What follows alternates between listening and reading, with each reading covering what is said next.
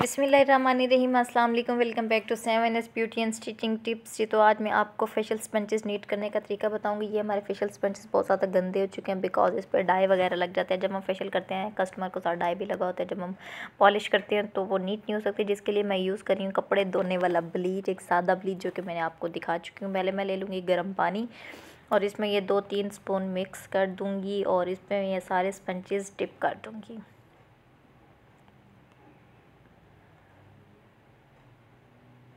इस तरीके से मैं ये सारे स्पंचेस डिप करूँगी और इसमें थोड़ा सा मैं डाल लूँगी हैंड वॉश आप हैंड वॉश डाल लें शैम्पू डाल लें या थोड़ा सा कपड़े धोने वाला सर्फ डाल लें, सारी चीज़ें, ठीक है? ये देखिए कितना गर्म पानी है और इसमें मैं इसको डिप करके तकरीबन 20 मिनट के लिए छोड़ दूँगी। और 20 मिनट के बाद मैं इसको चेक करूँगी। मैं थोड़ा सा इसमें और थोड़ा सा ब्लीच ऐड करने लगी हूँ। क्योंकि ये गंदे बहुत ज़्यादा हैं तो थोड़ा सा और ऐड होना करना चाहिए। इसको बहुत ज़्यादा देर अगर हम छोड़ेंगे तो ये भुरभुरे से होकर बिल्कुल ख़राब हो जाएँगे। पहले मैं इसको 20 मिनट के बाद चेक करूँगी। आधे स्पंजेस मैं साथ वाले दूसरे बाउल में रख रही हूँ क्योंकि एक में सही पूरे नहीं आ रहे। अच्छे से डिप नहीं हो रहे।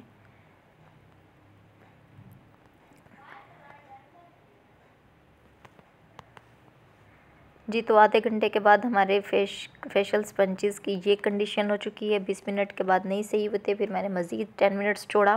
अभी भी कुछ स्पंचेज़ हैं जो गंदे हैं और कुछ हैं जो नीट हो चुके जो नीट हो गए हैं, वो तो खैर मैं निकाल लेती जो गंदे हैं, उसको मैं मज़ीद थोड़ी देर के लिए छोड़ूँगी और उसमें मज़ीद थोड़ा सा ब्लीच भी ऐड करूँगी।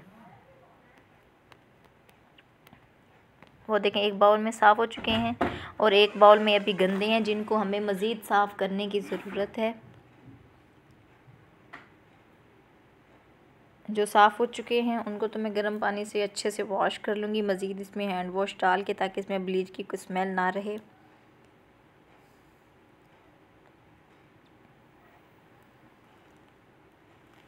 कुछ इस तरीके से आप भी अपने फेशियल स्पंचेस अच्छे से नीट कर सकते हैं।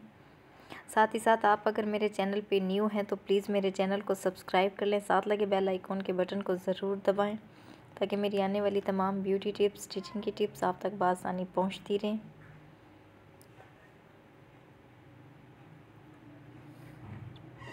कुछ इस तरह से हमारे सारे स्पंचेस नीट हो चुके हैं।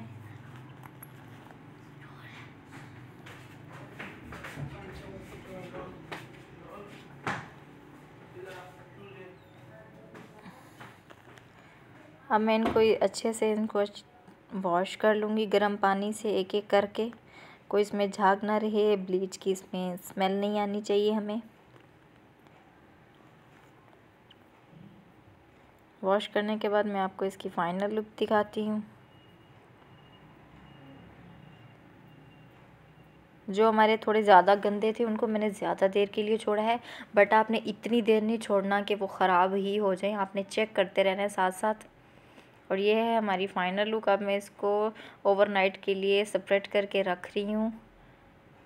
और इन कल तक ये बिल्कुल ड्राई हो चुके होंगे। अपना और अपने प्यारों का ढेर सारा ख्याल रखिएगा। हमें भी दुआओं में याद रखिएगा। अल्लाह हाफिज़।